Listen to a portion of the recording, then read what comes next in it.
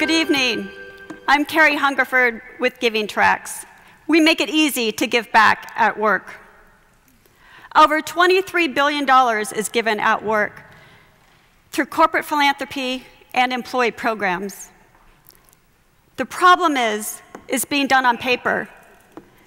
Business and employee giving hasn't changed in 20 years.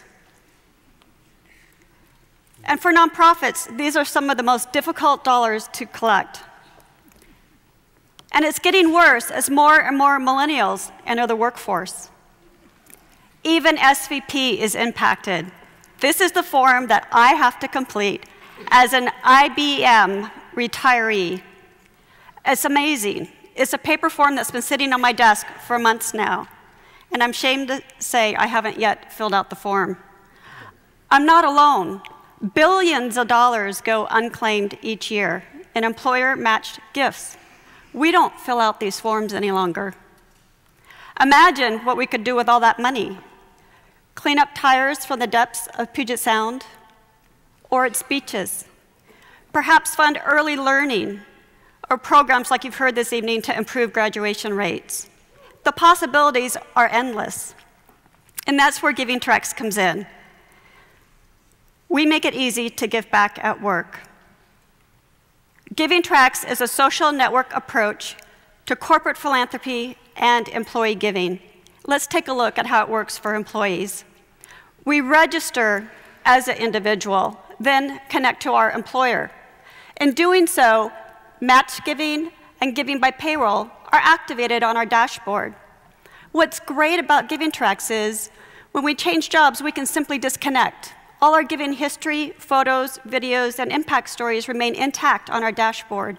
And if we've been giving by payroll, we can choose another means to continue fulfilling our pledge. For matching gifts, the match request automatically lands our in, on our employer's dashboard, allowing them to track and fulfill their portion of the match seamlessly. We already have a number of customers and a diverse mix of customers, our largest being the Saltchuk family of companies, who's beginning their rollout of GIVINGtrax this Friday. Our revenue model is software as a service. Smaller businesses pay monthly, and larger pay an annual license fee. 89% of all businesses give back. That's 5.7 million potential customers for GIVINGtrax. And here is an image of one of them. Our go to market strategy includes internet marketing and viral tactics, partnerships, and sales. GIVINGtrax is entering an underserved market.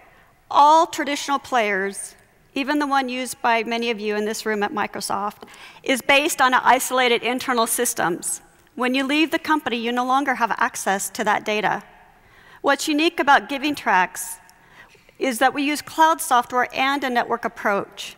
So for employees, you can carry your dashboard with you to your next job. GIVINGtrax is led by Kai Santala and myself. Kai has done work for Hawaiian Airlines and helped build the tracking system for the Boston Mass Transit. I have a background in enterprise sales at IBM with a $10 million quota, and I'm confident in our ability to sell GIVINGtrax. We're surrounded by a team of advisors and mentors, some of whom are here this evening, who bring domain expertise and guide us. You will not find a founder more committed than I am to our startup. I have personally invested over 500,000 myself to build and vet a prototype, file our patents, and to fund our current product. Our next milestone will be enhancing the employee module with recurring donations, text to give, and giving by payroll. This will bring us to profitability next year.